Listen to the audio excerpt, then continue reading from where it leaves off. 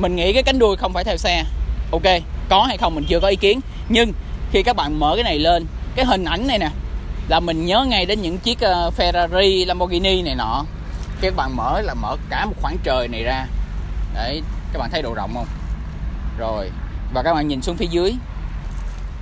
Đây là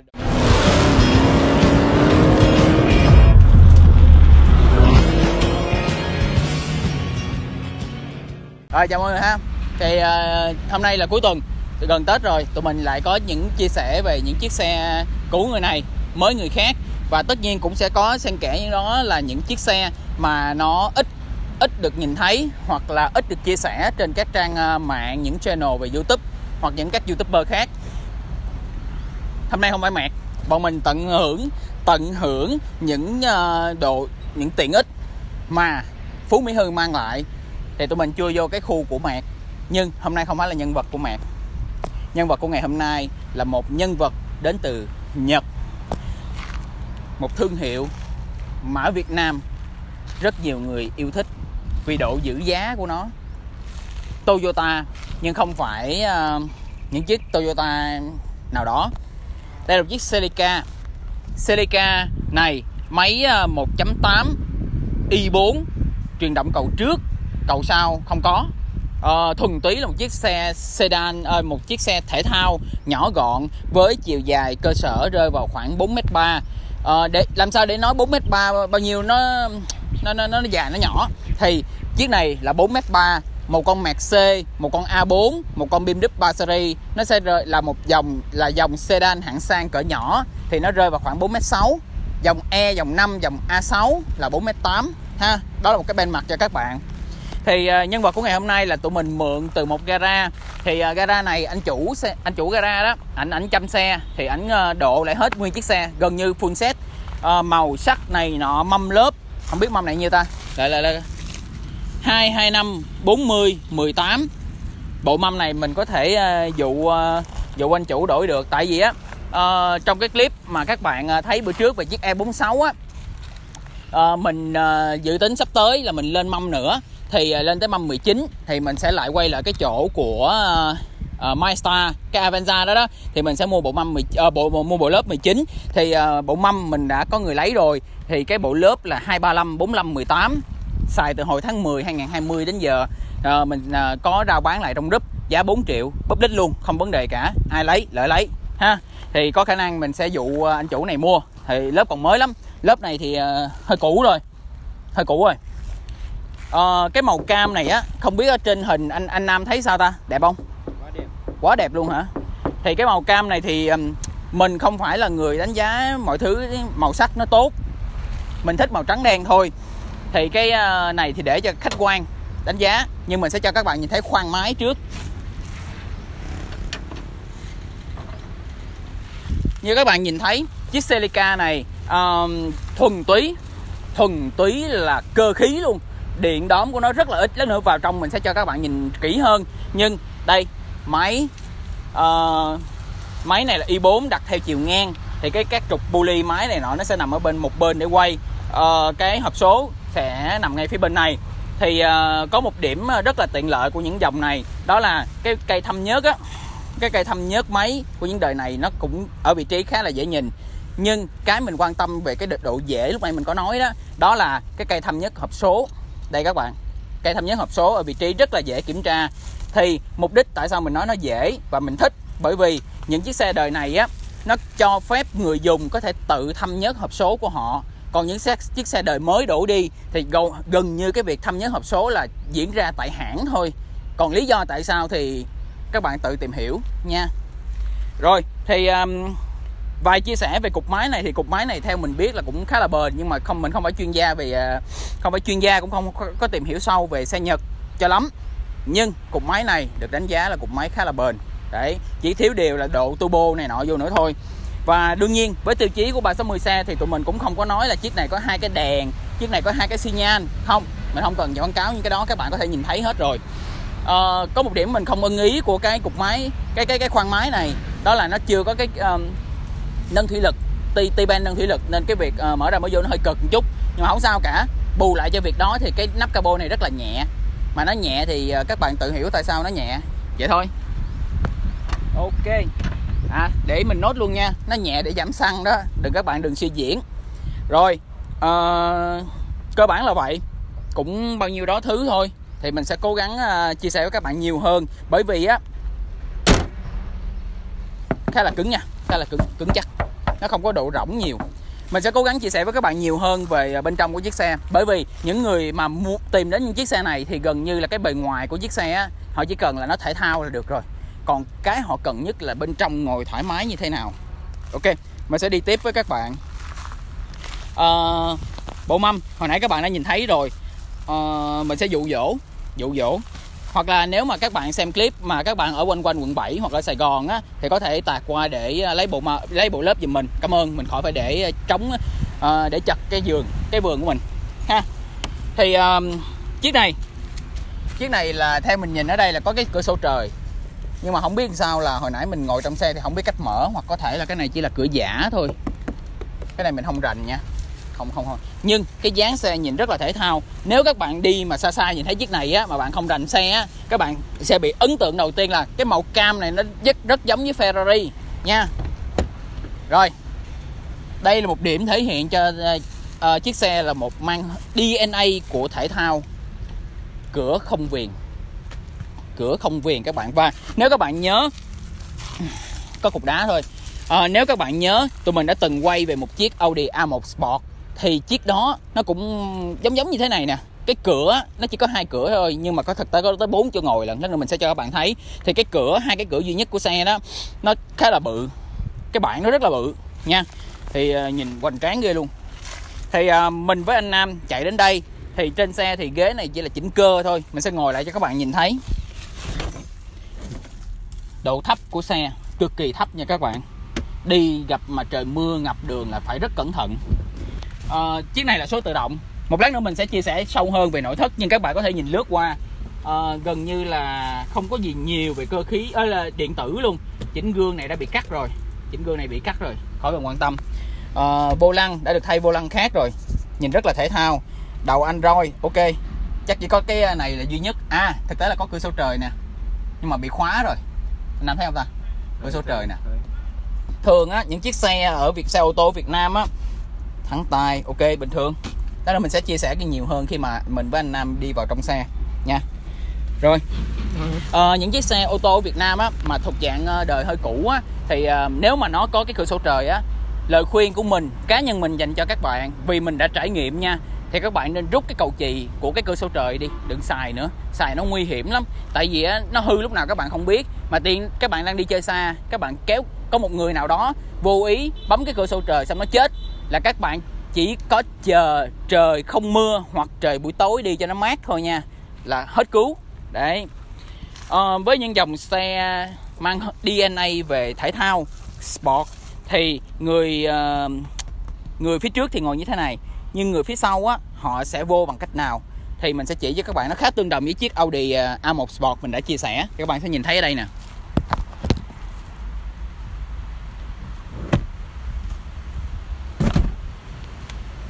Rồi các bạn thấy đây là đủ cái độ rộng để một người có thể bước vào bên trong. Và từ từ anh Nam. Ờ ok anh Nam cứ quay vậy đi. Rồi mình sẽ là sẽ bước vào để xem nó như thế nào nha. Tất nhiên như các bạn đã nhớ mình là một m tám rồi anh Nam quay giùm mình. Cũng uh, gọi là tương đối tương đối vừa phải thôi. Người thì nhỏ con thì một m năm chắc ok.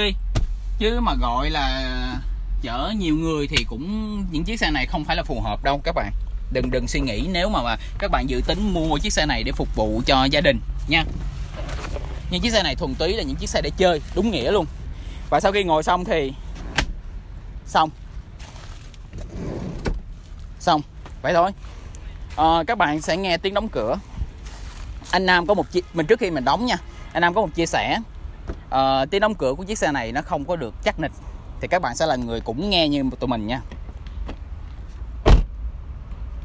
Có uh, mình mình uh, mình sẽ để các bạn comment ở bên dưới và mình sẽ không đưa ra quyết định gì cả bởi vì mỗi uh, góc nhìn mỗi cái lỗ tai và mỗi trải nghiệm nó sẽ khác nhau hoàn toàn. Mình không điều hướng các bạn theo như giống như một số người nào đó mà mình sẽ cho các bạn có được sự tự tự đánh giá khách quan nhận xét khách quan nha. Um, cái cánh đuôi này cánh đuôi mày nghĩ zin không? Anh nghĩ là không phải theo xe. Tại vì á các bạn à tụi mình á à, khi mà được có cơ hội cầm xe á tụi mình nghiên cứu về xe ít lắm. Mình nghĩ cái cánh đuôi không phải theo xe. Ok có hay không mình chưa có ý kiến. Nhưng khi các bạn mở cái này lên cái hình ảnh này nè là mình nhớ ngay đến những chiếc ờ, Ferrari Lamborghini này nọ các bạn mở là mở cả một khoảng trời này ra. Để các bạn thấy độ rộng không? Rồi và các bạn nhìn xuống phía dưới. Đây là độ rộng của cái cốp xe. Vẫn còn những thứ uh, tồn tại với thời gian nhưng mà đâu đó các bạn nhìn thấy nè. Những cái cách âm cách nhiệt đã được gia cố thêm tức là xe vẫn có hư hao theo thời gian. Thì cái cái điều này là các bạn phải chấp nhận thôi. Đừng quá cầu toàn một chiếc xe uh, mười mấy năm tuổi. Tính ra chiếc này là theo như đăng kiểm của xe là xe được sản xuất năm 2000 nha các bạn. Tính ra là nó nhiêu? 20 năm á. 20 năm ờ 21 xin lỗi các bạn 21 đấy anh Nam, cơ hội nè. Những cái nắp nhựa này là những cái nắp nhựa che lại để thẩm mỹ thôi, nhưng các bạn khi các bạn mở ra xong á, các bạn sẽ có thể lòn tay vào thay đèn đỏ nếu nó bị ờ, bị cháy. Tuy nhiên các bạn sẽ có cơ hội nhìn thấy cái à nó có những vết dậm vá hay cái gì rồi nè. Nhưng mà không sao đâu chúng ta trải nghiệm thôi chứ cũng không đánh giá gì nhiều. Tại vì mỗi người ờ, chủ của mỗi chiếc xe thì sẽ có cách chơi khác nhau. Không ai giống ai cả. Theo như mình nhìn ở đây á thì có hai dấu hiệu anh Nam quay gần kìa. Chiếc này có thể gặp được nha. Chiếc này có thể gặp được cái cái băng sau nè theo như cái biểu tượng đó. Rồi ok. À, mình đã cho các bạn nghe về tiếng đóng cửa. Bây giờ mình sẽ cho các bạn nghe về tiếng đóng cốp với mình tiếng đóng cốp này thì hay hơn tiếng đóng cửa. Rồi à, anh Nam quay xa xa tí đi. Trên quá trình đi đến uh, chỗ uh, quay uh, chia sẻ với các bạn thì chiếc xe này đã được độ bô và cái uh, body kit rồi. Thì uh, phần bên này thì cũng y vậy thôi. Anh Nam cứ đứng yên đó đi. Mình sẽ nổ máy xe và cho các bạn đứng bên ngoài để nghe tiếng bô xe.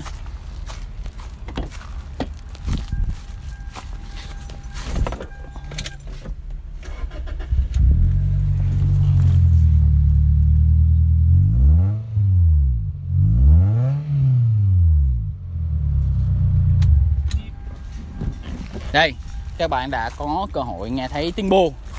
Với mình thì à, mình đánh giá cái bô này à, người thợ làm bô này làm rất hay. Đó là với mình cái bô hay là như gì như thế nào? Cái bô hay là khi các bạn chạy bình thường là cái tiếng nó kích thích bình thường rồi ai cũng biết. Nhưng khi các bạn dừng xe đổ đèn đỏ đó cái tiếng bô nó phải êm ắng lại. Nó không có gào rú để gây cái việc uh, khó chịu cho những người xung quanh đậu gần các bạn. Mà trên mạng á thường hay có một cái câu rất là hay. Còi to bù hú là thú đi xe. Vậy thôi. Ok thì à, mình đã chia sẻ với các bạn gần như bên ngoài rồi. Thì bây giờ mình sẽ vào bên trong để cho các bạn thấy một chiếc xe từ năm 2000 đến bây giờ mang trong mình là mang trong mình chiếc xe là một cái DNA về cái um, tinh thần sport tinh thần thể thao. Nó có gì? Được chủ chăm những gì và còn lại những gì? Nha rồi các bạn ha thì hiện tại là mình đã vào trong xe với anh Nam. Và uh, một có một sự khác biệt là dạo gần đây của 360 xe tụi mình đó là tụi mình vào xe nhưng chưa đề máy. Tụi mình chịu nóng một tí xíu. Các bạn thấy không gian im ắng. Và bây giờ mình sẽ tiến hành đề máy xe nha.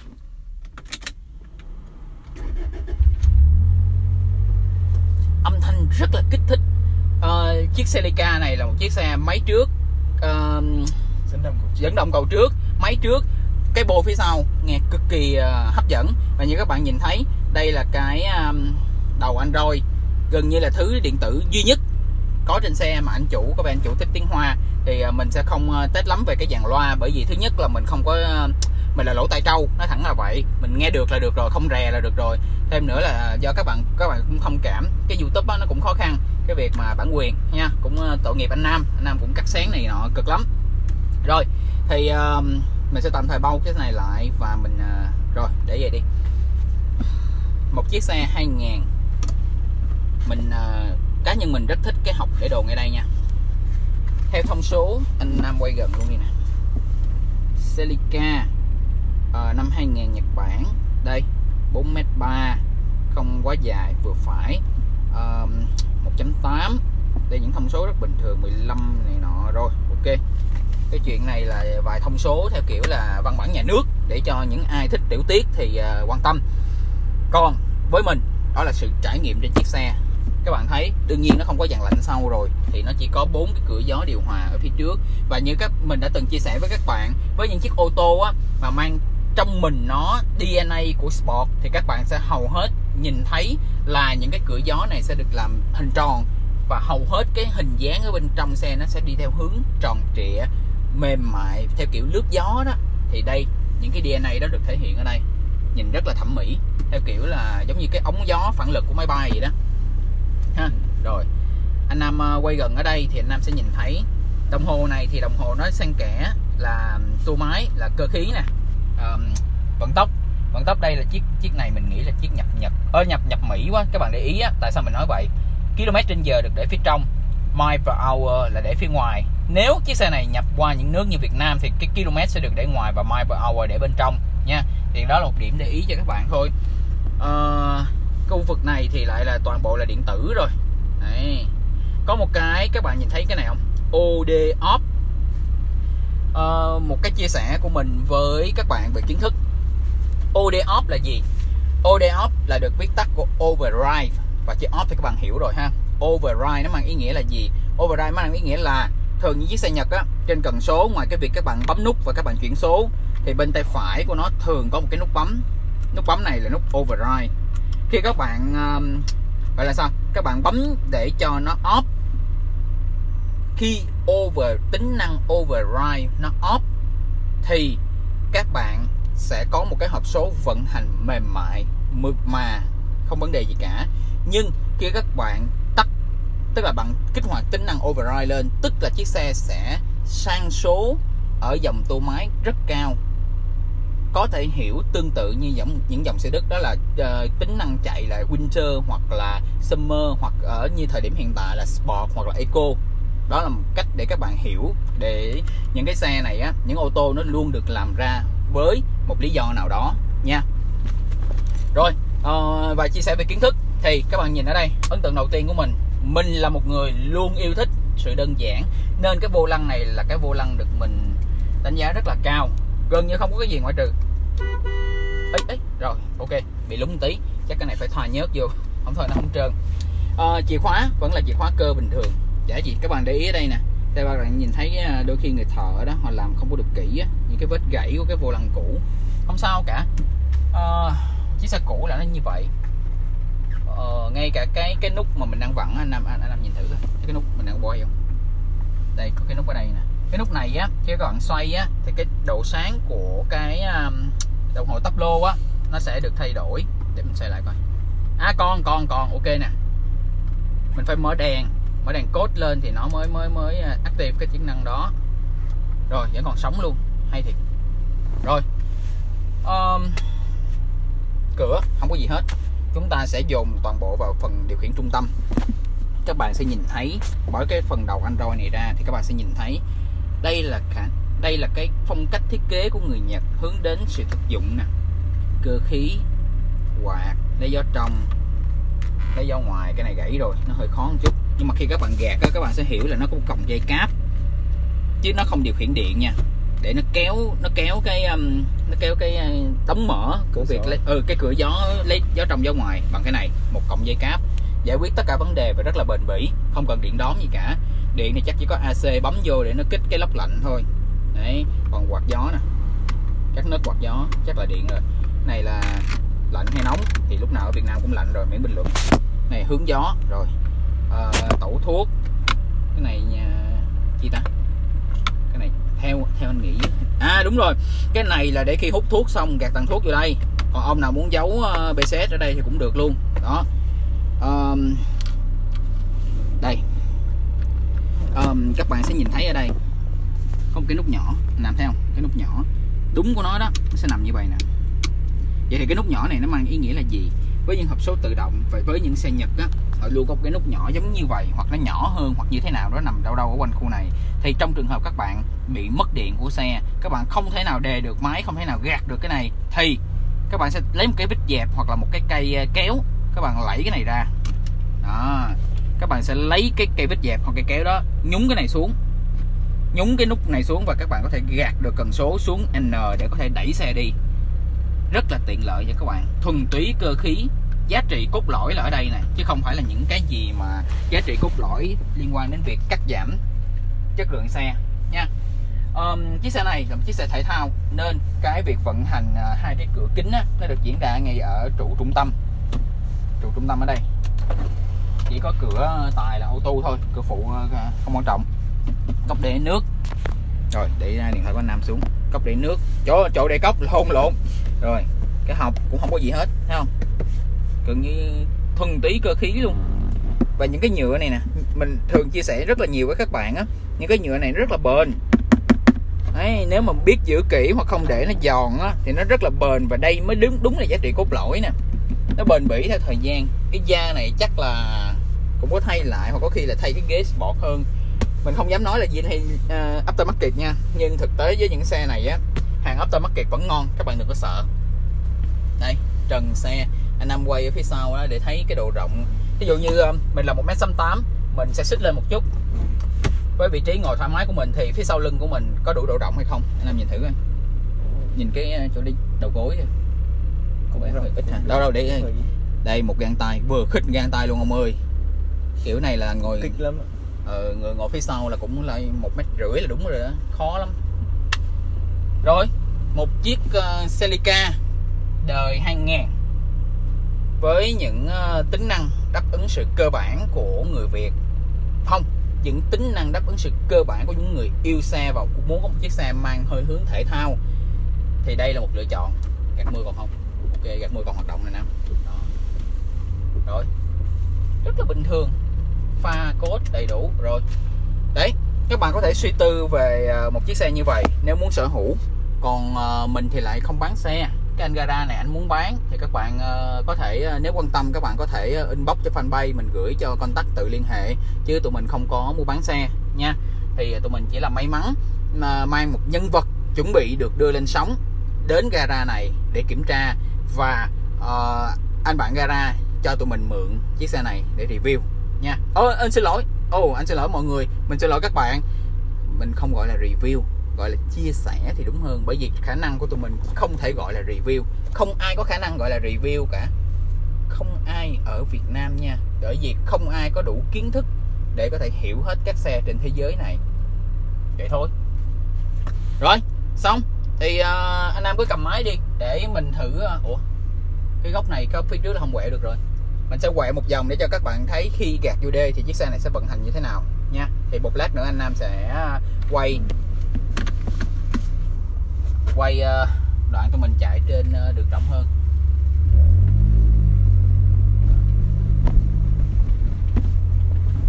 Phục nhúng khá êm nha.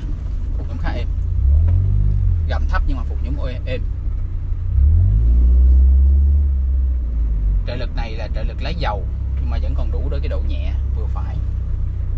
Rồi, chỉ chia sẻ vậy thôi. Nhớ subscribe kênh của tụi mình để có thể thấy thêm nhiều clip về những chiếc xe cũ và những trải nghiệm xe khác biệt so với những channel khác. Cũng giống như việc mình không giống những nơi khác là phải mặc quần dài, quần là áo lụa nhé và những người bạn của mình như anh Nam anh Lợi, Tuấn Anh này nọ cũng sẽ như vậy thôi. Các bạn không